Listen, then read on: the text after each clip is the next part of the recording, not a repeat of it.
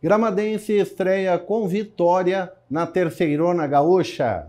O Gramadense estreou com vitória na Terceirona Gaúcha. Neste domingo, dia 22, jogando na Vila Olímpica da Várzea Grande, a equipe treinada por Vinícius Nascimento venceu o Guarani de Venâncio Aires pelo placar de 2 a 0. O Gramadense está na chaveada competição que conta ainda com o Real de Capão da Canoa e Apafute de Caxias do Sul.